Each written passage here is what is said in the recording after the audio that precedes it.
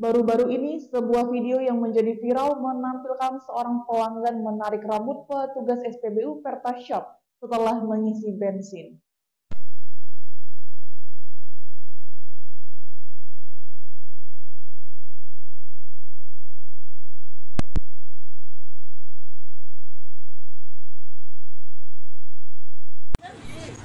Pertamina akhirnya memberikan tanggapan mengenai peristiwa tersebut.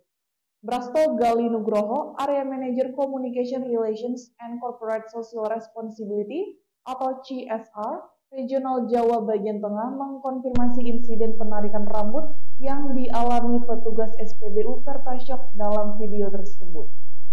Brasto mengungkapkan terdapat seorang pelanggan mengisi pertamax sebesar Rp30.000.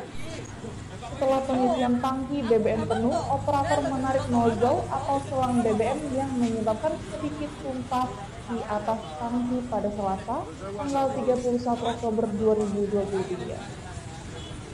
Namun pelanggan tersebut tampaknya merasa marah ketika melihat BBM tumpah di tangkinya.